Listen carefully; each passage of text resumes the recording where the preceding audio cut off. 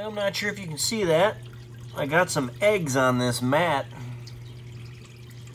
This mat is four of these uh, plastic plant mats.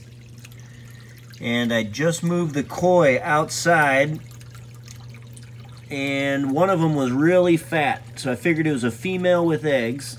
So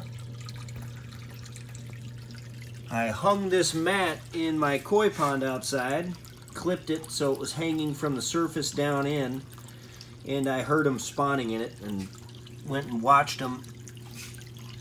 And so they were climbing up almost out of the water to lay eggs in this thing.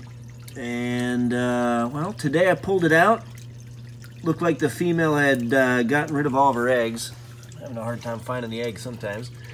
Um, so I moved it in here to where I keep the koi in the winter time.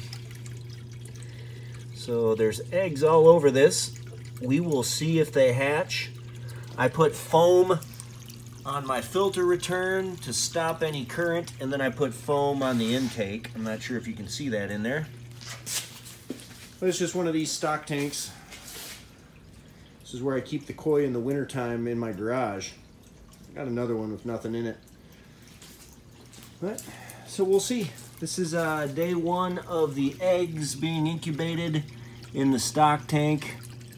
And uh, we'll see if I can get any of these to hatch. Hope you guys had a great Wednesday.